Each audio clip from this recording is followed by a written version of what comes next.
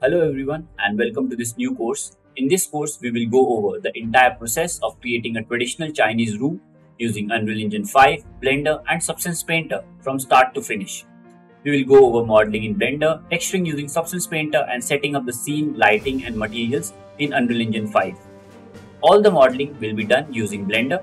However, the techniques used are universal and can be replicated in any other 3D modeling package. The materials and textures will be created using Substance Painter. Level art, lighting and composition will be done in Unreal Engine 5. In this course, you will learn everything you need to know to create the final results that you see in the images and trailer. The same techniques can be applied to almost any type of environment. This course has over 11 hours of content and we will go over every step in this course together and nothing will be skipped. This course does not have any kind of time lapses so that you can follow every step easily. We will start by gathering some reference images to gain some initial ideas and the mood for our scene. We will arrange these reference images in a free program called PureRef. After this, we will move on to Blender and start modeling our main assets. We will start by modeling things like the writing table, chairs, shelves, and all the different props in our scene. The entire process of modeling will be covered in Blender only. After we have modeled all our main assets, we will UV unwrap and export them to Substance Painter.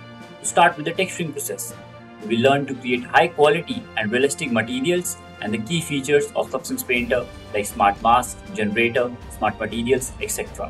After this, we will import all our models and textures into Unreal Engine and set up the scene over there.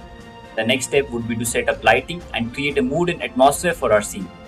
We will use the new features of Unreal Engine such as Lumen to get realistic lighting for our scene and also set up a post-processing volume to further enhance the scene's visuals. Then we will spend some more time creating a lot of small props to further detail the scene even more, like some vases, lamps, teapots, etc.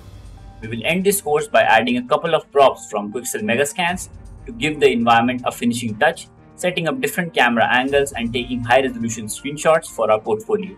So I hope to see you there in the course. Thank you.